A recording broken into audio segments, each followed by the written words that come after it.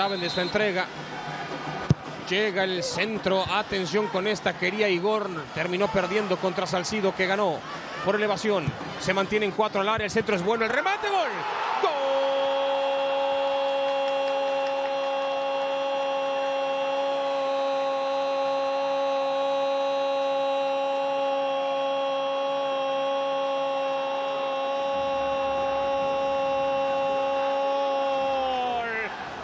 Cruz Azul.